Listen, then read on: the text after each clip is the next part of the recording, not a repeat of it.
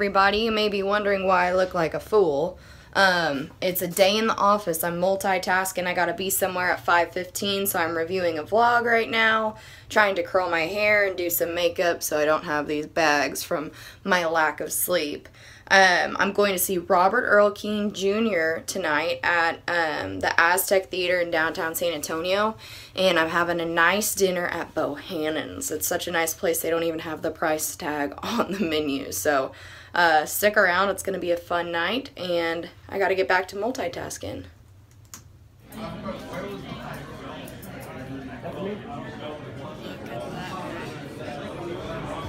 Okay, so we've wined and dined, and now we're waiting for Robert Earl Keen. Yeah. R-E-K, baby.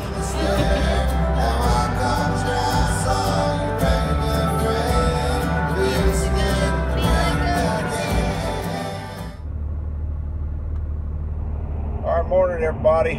Uh, five o'clock on the money, and we are, or I'm heading right now to the ranch. Um, we've got a, a little project I've been working on. Uh, we put together a special rifle. I'll show it to you here in just a sec.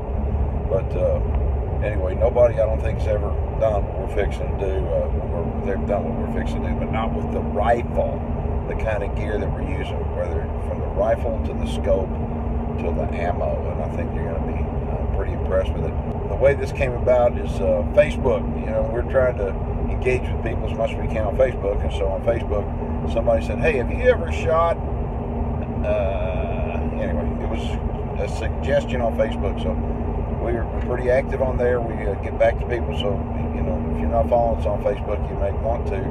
And uh, occasionally we'll wind up listening what somebody says, and I think in this case it's going to be pretty cool. So. Just a second, we'll be in the blind. I'll show you the gun. All right, so here's what we have. I'm calling this uh, Black Sweetness. Look at it. This is a little special pistol, actually. And uh, what we're going to do, I got it topped off. This is a Sig Sauer MPX 9 millimeter, And I've got topped off with a uh, night vision Sightmark scope. I'll be shooting some streak ammunition. It's a it's a special, kind of like a tracer, but it's really not a tracer. You may be thinking, what are you doing? Deer hunting? Yeah, we're deer hunting. We're in here early. Legal shooting time is a half an hour before sunrise. Sunrise is 7:22, so we're in here really early. And at 6:52, we have the green light legally to see if we can uh, send a streak bullet through one's lung and see what happens. Stay tuned. All right, so it may be uh, politically incorrect to to say black sweetness, but I mean, what else would you call this gun? Oh, let's see, I couldn't really show it to you good early in the darkness, and I couldn't talk very loud, but now I can because I got a dead deer. Check this out. Look at this. I mean, a perfect deer. Okay, and uh, you know, we wound up, I hit her exactly where I wanted to hit her, and uh, anyway, Black Sweetness did its job now. And uh, if y'all want to watch this full video, what you need to do is uh, get on our YouTube channel, make sure you subscribe to it, watch our television show. This is a Sig Sauer MPX 9mm gas pistol, actually. It's got a real short little barrel on it. It's all tricked out in Timber Creek gear. On top of it, it got a Sightmark variable power night vision scope that records. And uh, this right here is, this is not your conventional hunting tool right here. And I like doing things kind of unconventionally sometimes. And so anyway, we decided that we would do this and uh, see what, what would happen. Got it all tricked out in Timber Creek gear. And the cool thing is, uh, what we ought to do, and we, we don't do this on the vlog, but we're going to do this on this vlog. We're going to take a little clip. The ammo that we're using in this gun is called Streak Ammo. It's a non-incendiary, non-incendiary? Anyway, I don't know how the hell to say it. I'd have to read it. But anyway, it's a it's a non it's, like a tracer I'll put it that way. But the cool thing about this is see all this dry grass and all this dry grass if you shot a tracer out here more than likely it could start a fire. And so I wouldn't want to do that. But you can shoot the streak ammo and not worry about it because it's not incendiary incendiary and it's not freaking flammable. How's that sound? So anyway we'll show you what that looks like but it's pretty cool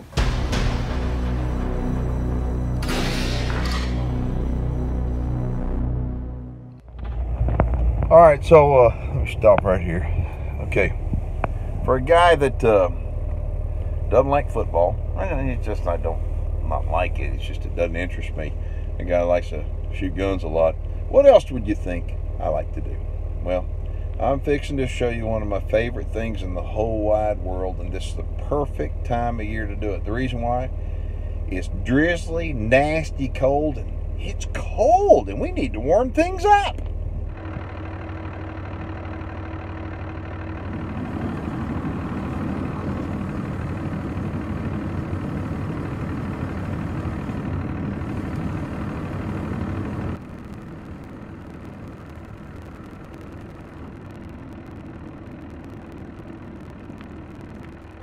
So, what do you think of that?